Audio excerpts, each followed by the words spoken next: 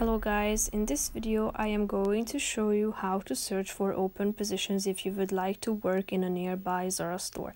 But first I just want to mention, don't forget to subscribe to my channel because at 10,000 subscribers I am going to show you my whole YouTube revenue statistics and growth strategy how to make money online. So let's jump into it.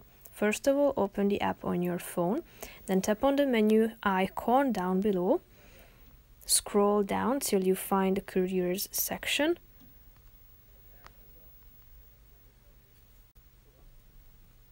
Now scroll down and uh, tap on the last icon. Would you like to be part of our store team?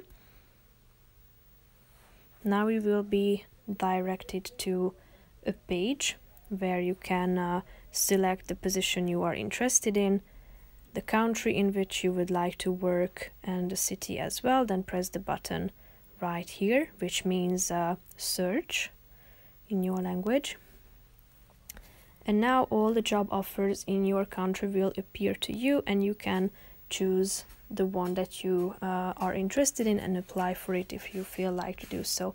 So that's pretty much it for this video. I hope you found it helpful. If you did, consider subscribing and see you in the next video. Bye bye.